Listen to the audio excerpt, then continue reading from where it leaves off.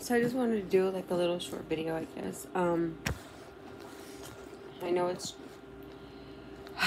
he definitely made it like real clear to me just now that it's his birthday, and so um, just thought I would share it. But it's like, I lost my job, and then I lost James, and then um, you know, I had a lot of attackers, even outside of like the norm this year.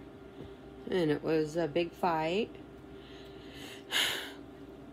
Um, I don't think I deserved it and I don't think it's fair. For some reason I've been crying like all day. I'm being vulnerable. It's weird because I don't ever show this side of me ever. But um tomorrow's um James's birthday and I was just looking I just wanted to share. I just watched the girl that I did the interview with on Aphrodite Rose Starfire's channel. And I was just clicking and then listening. I'm like, wow, that place is so beautiful.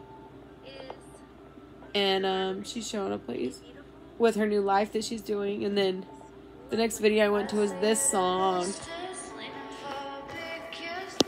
And I just was like done bawling. Because I just, I'm just like,